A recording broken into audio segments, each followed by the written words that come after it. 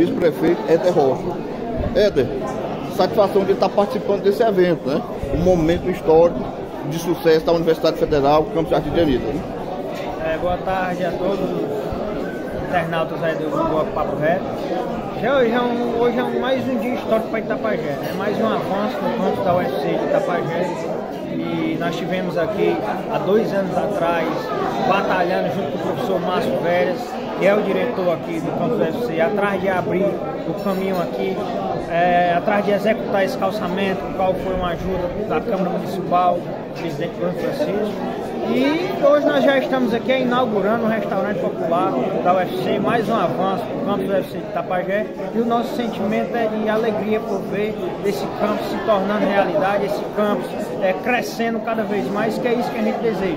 Deseja que esse campo cresça, expanda aí o, o, o, o número de cursos, né?